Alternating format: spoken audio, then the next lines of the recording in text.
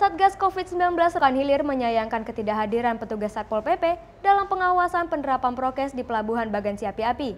Ketidakhadiran personel Satpol PP dikabarkan karena minimnya anggaran. Kekecewaan tengah dirasakan petugas Satgas COVID-19 Rokan Hilir yang melakukan pengawasan dan penegakan protokol kesehatan di Pelabuhan Bagan Siapi Api, Kecamatan Bangko, Rokan Hilir. Pasalnya hanya personel Satpol PP yang tidak terlibat melakukan pengawasan dan penegakan prokes terhadap para penumpang yang keluar masuk pelabuhan. Kasat Polair Polres Rohil AKP Sabto Hartoyo menegaskan pihaknya tetap melakukan pengawasan dan penegakan prokes di pelabuhan tanpa kehadiran personel Satpol PP.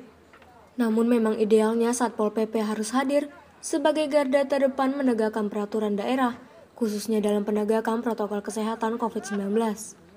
Kami siap di sini, cuman kami sesalkan dari pihak satpol pp-nya tidak ada. Sebetulnya di sini karena tempat kumpulnya masyarakat itu harusnya ada, karena dia mengawal kerja kita.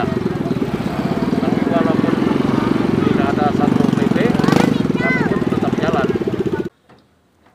Kabarnya ketidakhadiran personil Satpol PP di Pelabuhan Bagan Siapi Api dikarenakan sebagian personil cuti lebaran. Selain itu, minimnya anggaran juga menjadi alasan Satpol PP tidak menurunkan personilnya. Dari Rokan Hilir, Junaidi Ceria TV melaporkan.